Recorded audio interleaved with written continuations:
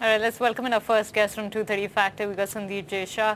He's the CEO at Sampriti Capital right here in our studios. Great to have you here, Sandeep. Uh, let's start with this drip down effect of positive news, which seems to now becoming a tide of positive news, uh, undeterring the bulls, uh, even ahead of this election verdict, which is a crucial one.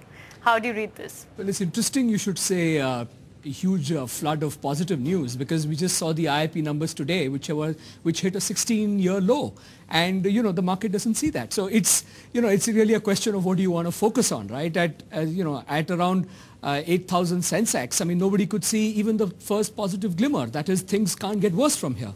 And now, you know, we have a really bad IIP number. Of course, it's not that bad in the sense that it's really capital goods. And I would expect capital goods to be a laggard in any case. You know, that's what's driving it.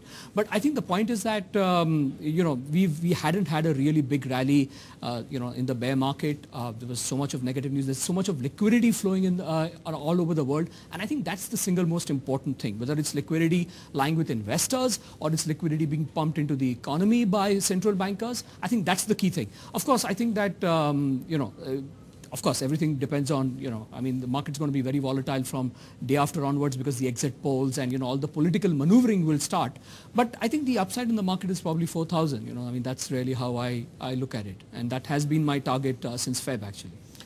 You think uh, in between that journey to 4,000, you're going to get one big dip and then perhaps uh, move up again? possible if, you know, we have a third front. But I think there's an interesting counterpoint to the third front. I, I don't think it may be true this time, but the last time, the third front, I think they were called the United Front, bec became the government. I think we saw more happening, more uh, action taken by the government in their first 90 days than any other government I have ever seen.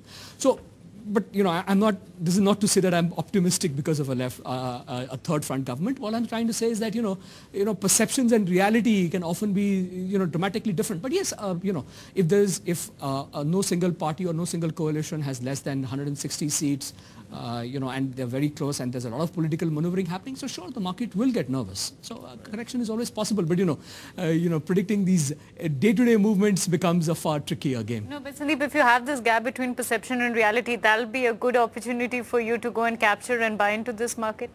Um, see, well, uh, you know, if the market were to sell off to, to say 3,400, surely I would buy as long as uh, you know it, it doesn't look like a third front government coming in. But if it's a third front government, then I might still wait a little longer, you know, because you could have more serious downside. You could have you could see downsides of even 3,000 on the Nifty.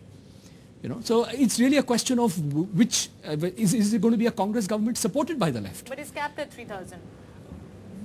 I don't think it will stay below 3,000. I mean, you know, it could always intraday, you could see some sort of, you know. So let's just, uh, you know, focus on the worst case uh, scenario sure. or the so-called perceived worst case that a left or a third front or a fourth front, whatever comes to power, not a U Congress-led UP or a BJP-led NDA. Uh, is it really going to be th that bad? Uh, you know, you might get a sharp knee-jerk sort of a reaction, a sell-off, so on and so forth, but people are going to come back. Uh, it's not just, uh, it's, it's, you know, elections are happening here in India, but abroad there are other things which are happening uh, and uh, which don't leave much choice for investors but to put their money in markets like India. That's what at least a lot of FIs have been saying. No, I, I absolutely agree with you uh, on that point that, uh, you know, the market will get obsessed and will get, uh, you know, absolutely manic about a third front government, but that manic period will last a few days, maybe weeks, you know. Uh, but um, because, you know, ultimately, I think India, India's growth trajectory, uh, I, I, mean, even though we've seen a bit of a blip, I think it's going to continue. No government can totally alter that. You know, probably a government could make a difference of 200 bips point in terms of GDP growth. That's serious number. They can do that. You know, if you have reform or if you suddenly let the labor unions rule everything. So you could impact IIP, you could impact the economy, but you're broadly right. I mean, you know, I think India's, uh, I, I, think India's economy has bottomed out even the, even in spite of the IIP numbers. I think we have broadly touched bottom. Things are only going to get uh, or improve at a broad level. You, you will see blips. So to that extent, you're right. You know, after a, a month or two, I think the market will forget it. But individual sectors could get very badly affected if there are certain uh, decisions taken by the left government or a government impacting certain industries. You know, there could be a lot of those things.